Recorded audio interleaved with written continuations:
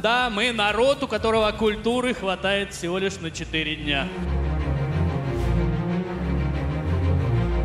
Вы что не видите? Я сейчас обращаюсь к человеку, от которого зависит моя, да что там моя, судьба всей Украины. Владимир Владимирович.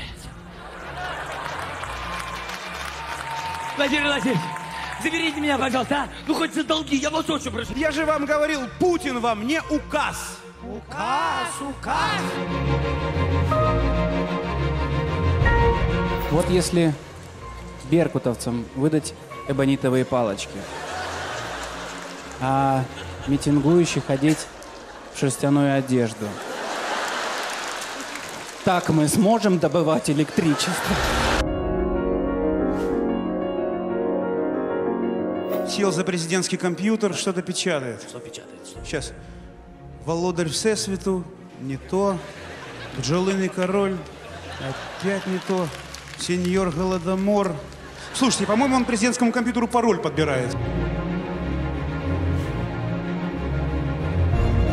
Кажучи правду, єдине, що з- собака зігріває душу, це надання Україні т- т- т- т- термосу.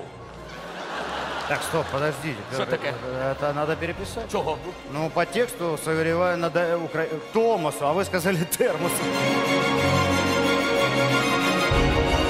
Якщо ви, товариші, не виведете свої зелені війська з Криму, ми через місяць виведемо всіх дівчат з Москви. Мы все говорим, Путин бессовестный пристал к Украине. Да может быть, не случайно.